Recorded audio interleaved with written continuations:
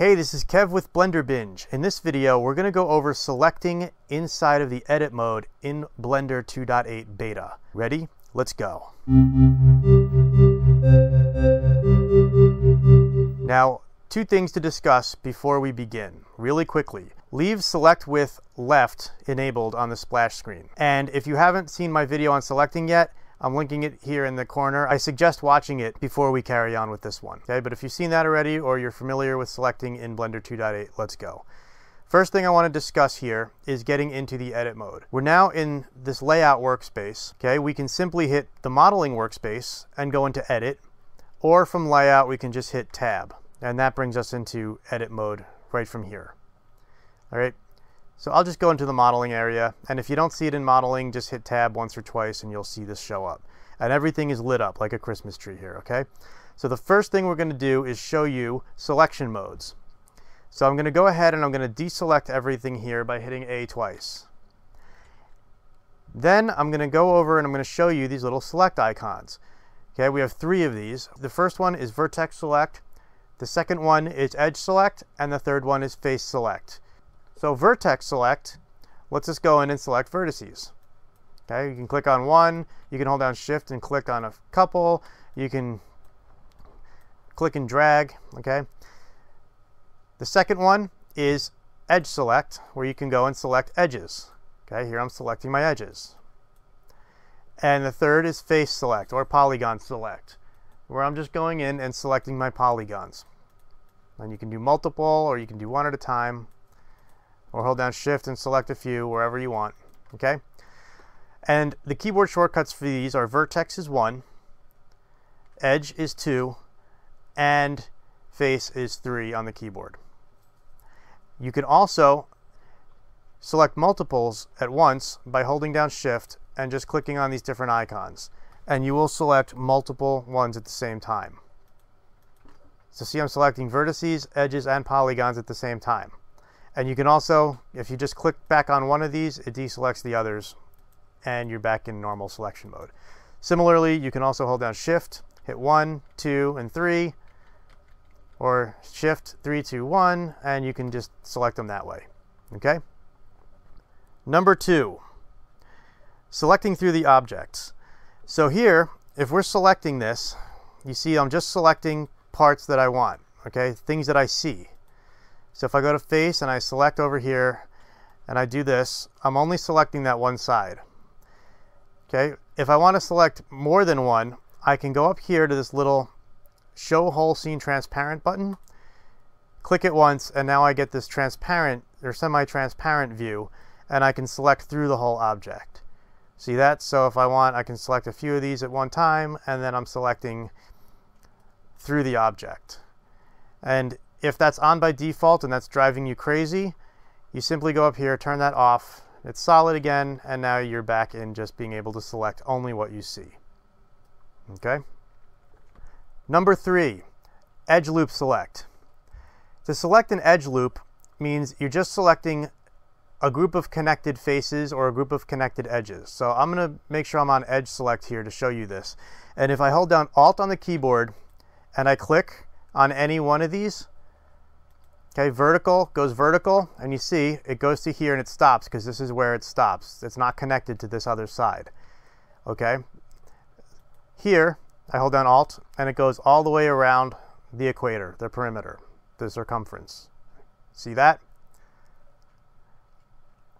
Okay, and it works on faces and it works on vertices as well. Okay, so vertices here, I hold down Alt and I select, and I select vertices or I go to faces, hold down Alt, and I'm getting different faces and, and face loops, edge loops, faces. Okay? Number four, selecting multiple edge loops. So if I want multiple edge loops selected, I hold down Alt, I select one, then I hold down Shift while I'm holding down Alt, and select multiple. Okay, and you can select by just doing that, just clicking while you're holding down Alt and Shift and you can select multiple. And to deselect, you just click on, click on it again and it deselects. So all I'm doing here is just clicking on ones that I already had selected while still holding down Alt and Shift and it's deselecting, okay? Number five, selecting edge rings.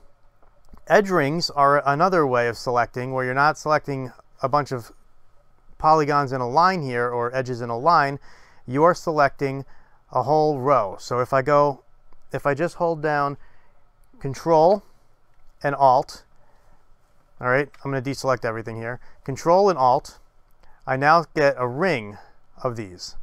Okay, Control Alt, I get a ring going around.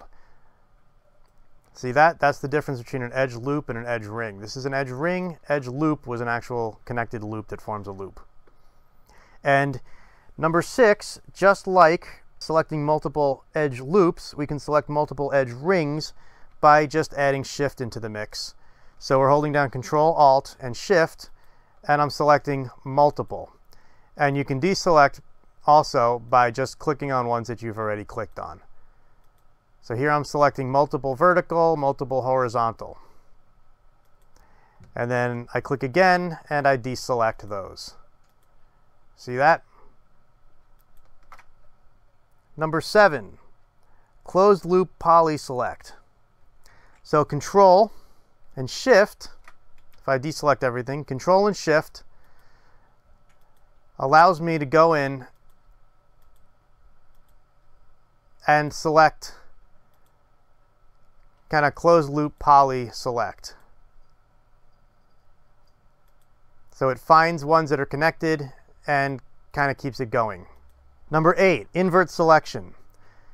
So if I have just one polygon selected here and I hit Control I on the keyboard, it inverts the selection.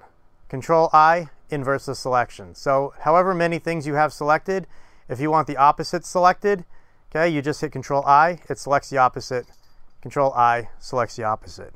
Yeah, it just inverts. Number nine, grow selection. So if I have a, one polygon selected and I want to grow out that selection, I can hit Control and plus on the number pad on the keyboard, and it grows the selection. See that? And I can grow it all the way out. Just keep hitting it, hitting it, hitting it until I get the whole thing selected. And number 10 is the direct opposite of that. So I hold down control and hit the minus key on the keyboard, on the number pad on the keyboard, and it shrinks the selection. Now, honestly, I'm probably to remap these myself because I'm doing this like finger acrobatic thing here and it's really painful. And like they're so far away from each other on the keyboard that I'm probably to end up remapping these to something that's not used. But that's where they are right now. That's where they exist. So if you want to do that, control number pad plus grows, control number pad minus shrinks the selection. And number 11, the shortest path.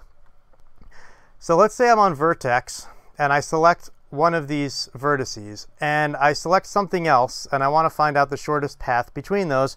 I can now just hold down control and click on another and it kind of finds me a shortest path to that object. So with that, Hope you got something. Hope you learned something. Those are ones that really work for me. Hopefully they'll work for you. Hit like, subscribe. If you really like this, hit those little bell notifications and you'll keep seeing when I get more of these videos pumped out for you. And go play and have fun. See you in the next video. Thanks. Bye.